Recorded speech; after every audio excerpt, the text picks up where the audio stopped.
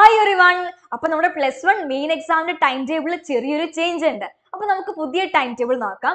പുതിയ time table പ്രകാരം നമുക്ക് എക്സാം സ്റ്റാർട്ട് ചെയ്യുന്നത് തേർട്ടീൻത്ത് ജൂൺ മൺഡേ ആണ്. അപ്പൊ മൺഡേ നയൻ തേർട്ടിക്കാണ് എക്സാം ഫസ്റ്റ് ഫിഫ്റ്റീൻ മിനിറ്റ്സ് നമുക്ക് എല്ലാവർക്കും അറിയുന്ന പോലെ തന്നെ കൂൾ ഓഫ് ടൈം ആണ്. നമുക്ക് ക്വസ്റ്റ്യൻസ് ഒക്കെ വായിച്ച് മനസ്സിലാക്കാനുള്ള ടൈമാണ് ഫസ്റ്റ് ഫിഫ്റ്റീൻ മിനിറ്റ്സ് അപ്പൊ നമ്മൾ എക്സാം എഴുതാനായിട്ട് സ്റ്റാർട്ട് ചെയ്യുന്നത് നയൻ ഫോർട്ടി ഫൈവിനാണ് അപ്പൊ നമ്മൾ ഫസ്റ്റ് അറ്റൻഡ് ചെയ്യുന്ന എക്സാം തേർട്ടീൻത്ത് മൺഡേ നമ്മൾ അറ്റൻഡ് ചെയ്യുന്ന എക്സാം കമ്പ്യൂട്ടർ സയൻസ് ആണ്.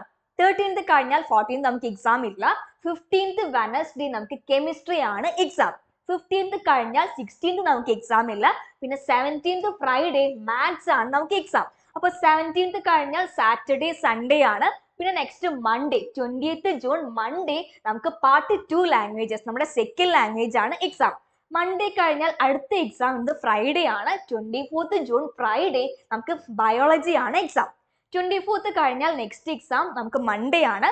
മൺഡേ ട്വന്റി സെവൻത്തിന് പാർട്ട് വൺ ഇംഗ്ലീഷ് ആണ് നമുക്ക് എക്സാം ദെൻ നമ്മുടെ ലാസ്റ്റ് എക്സാം ട്വന്റി സെവൻ കഴിഞ്ഞാൽ ട്വന്റി എയ്റ്റ് നമുക്ക് എക്സാം ഇല്ല. ട്വന്റി നയൻത്ത് വെനസ്ഡേ ഫിസിക്സ് ആണ് എക്സാം അപ്പൊ ഇതാണ് നമ്മുടെ പുതിയ ടൈം ടേബിൾ അപ്പൊ നമുക്ക് എക്സാമിൽ ഫുൾ മാർക്സ് സ്കോർ ചെയ്യാം. എക്സാമിന് ഫുൾ ഫാമിലി നിങ്ങളുടെ കൂടെ ഉണ്ട് നമുക്ക് എക്സാമിൽ ഫുൾ മാർക്സ് അർപ്പിക്കാം